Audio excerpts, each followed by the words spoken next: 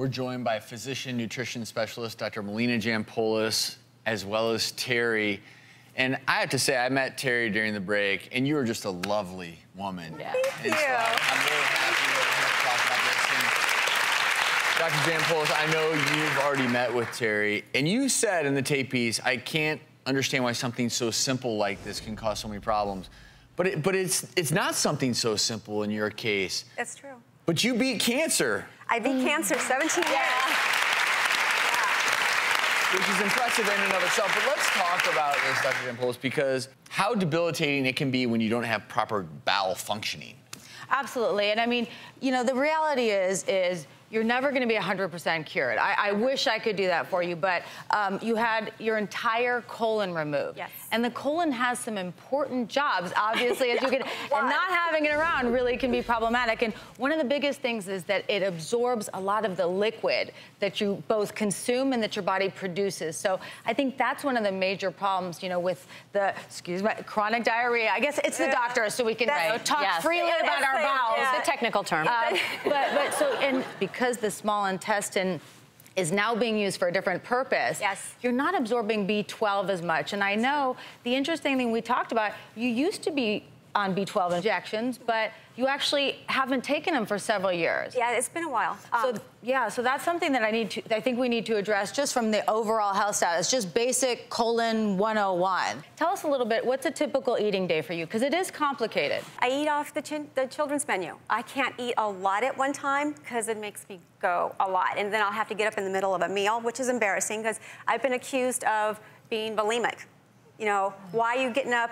You've only eaten five bites and bam, you're off to the restroom. You come back, you eat a few more bites and bam, you're off again. It's, you know, I, that's all I can do at one given time. Um, another one of my concerns is drinking. I was told that I'm supposed to drink tw- a minimum of 20 glasses of water a day. I probably drink on the average of 6 to 10, 32 ounce glasses of tea a day because Yeah. I can't stand water. Um, but Tea my with caffeine? tea with caffeine, unfortunately. Okay. Right, yeah. So that's one of the things that we, we talked a little bit about yesterday, and I think we definitely need to address that. You definitely need to keep your fluid status up because you're losing so much more than the average person, but you're probably having double what you need. And the caffeine, even though it's diluted, because she does. Very potent GI stimulant. Very potent GI, Even okay. for someone with a normal gastrointestinal tract, Right. normal anatomy, caffeine, you drink it, and a lot of people are running right to the bathroom. And is the lesson for everyone here that even if you have your colon, Yep. the foods you're eating play a major role in Absolutely. terms of how your GI um, your GI tract functions.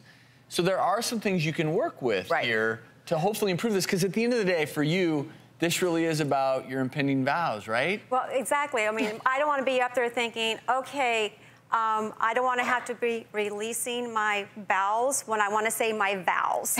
What I'm going to suggest you do as well, so that I can really help you, because we're going to see each other after this. I will help you up until your wedding, or whatever it takes. And- and I think if said two anyone- times, but we're going to do more. And I want anyone watching to think about this because Dr. Jampolis is a nutrition specialist. If you are dealing with bowel issues, whether it's constipation, chronic diarrhea, obviously you want to be evaluated, but it is amazing.